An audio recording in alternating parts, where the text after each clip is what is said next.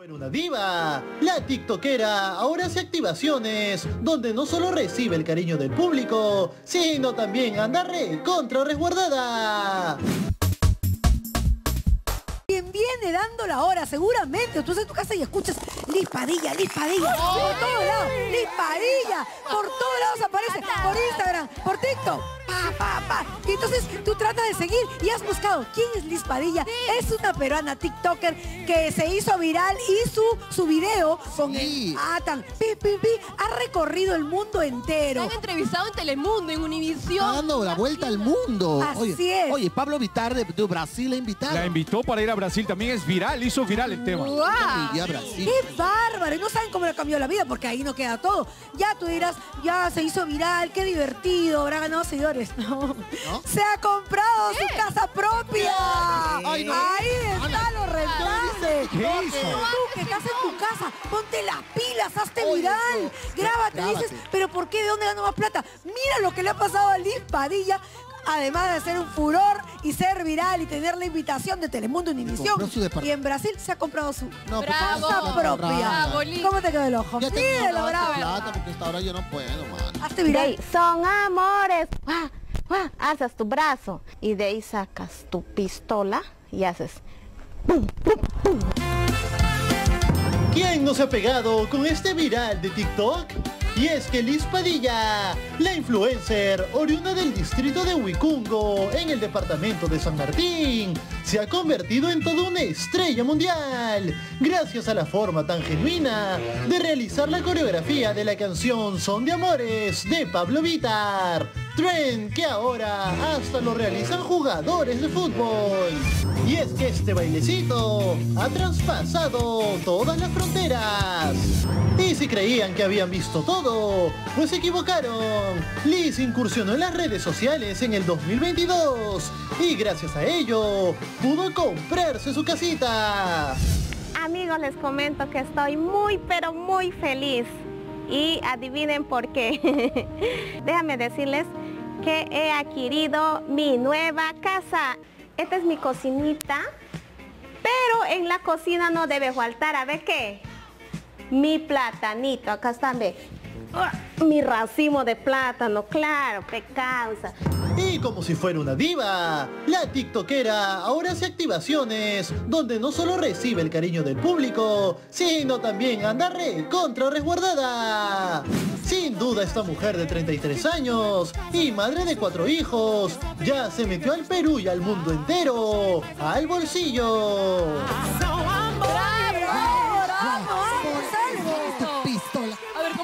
Alzas tu brazo. ¿Ya?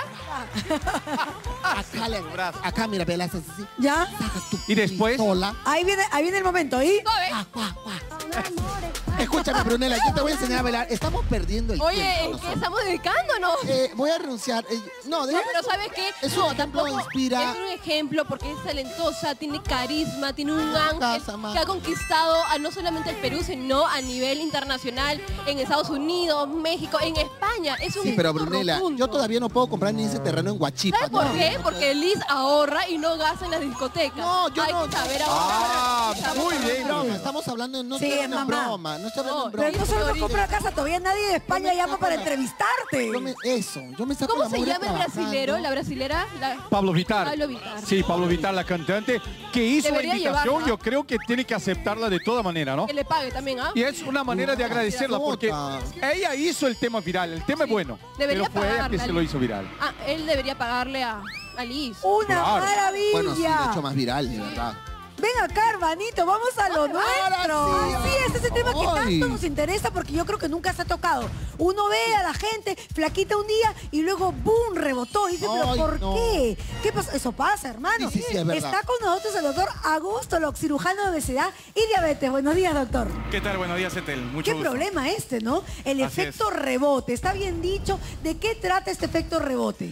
Bueno, el efecto rebote, o también como- conocido como el efecto yo-yo, es un, cicu- un círculo vicioso en el cual hay un constante, una constante baja y aumento de peso. Generalmente, ¿a qué se debe? ¿A qué? Eh, normalmente es a una falta de adopción de estilo de vida, de vida saludable. Ah, que Pero es muy común, ¿no, doctor? Porque hay personas que bajan de pronto mucho de peso, 20, 10 kilos, y después la ves que ha subido mucho más de lo que ya tenía. Exactamente. Y es exactamente. rápido también, es decir, cuesta mucho bajar, lo logras y luego ¡boom! el rebote. Qué, qué- qué mala suerte, doctor. Que Exactamente, o sea, y esto se va a deber muchas veces también, primero, a la- al tipo de dieta que hace el paciente, también se debe a problemas que pueda tener el paciente, enfermedades, depresión, Podría ser, ansiedad, doctor, por porque ejemplo. yo conozco a los flacos que te dicen, no, siempre mantengo mi mismo peso por años. Eso yo nunca lo he vivido. Siempre estoy arriba, abajo, arriba, abajo, Sube, pero... baja, sube, baja. Sí, así es, pues, pero los flacos no. Vamos a ver, ya sabemos que es el efecto, efecto rebote en casa, vamos a ver por qué se produce. Atención, si lo estás sufriendo, si tu amiga lo sufre, no te pierdas esto. ¿Por qué se produce, doctor? Bueno, generalmente, como ya dije al inicio, es por una falta de adopción de estilo de vida saludable. También generalmente hay pacientes que empiezan a tener una dieta y entran en una dieta muy restrictiva, Sí. muy hipocalórica. Ah. Entonces es una dieta que muy pocos saben llevarla a largo plazo. Dieta extrema no.